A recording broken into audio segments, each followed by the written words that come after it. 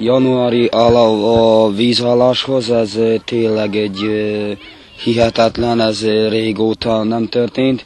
Én csak 22 éves vagyok, de én még ilyent nem láttam, hogy így kint fönt van a Tisza, hogy ez így a gyerekek, hogy örvendeznek nekik, van, aki most tanul így korcsoly, jégkorcsolyázni, tehát ez nagyon élvezetes a gyerekek számára, főképpen amikor most a téli szünidő van az iskolából. Minden nap ide lejövünk, előbb úgy terveztük, hogy a Kistiszára megyünk, de ott valahogy nekem gyanús a helyzet, és így biztosabb.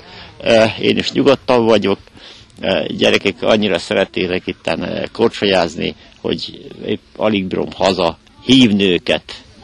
Délután is valószínűleg, hogy jövünk, tegnap is voltunk délelőtt délután, és szeretnénk, a tovább lenne ez a hidegebb idő. A meteorológiai szolgálat előrejelzése nem kedvez a korcsolyázóknak. A DTD közébácska vállalat pedig a Tisza vízszín csökkenése miatt a jég megrepedésére hívja fel a város polgárainak figyelmét.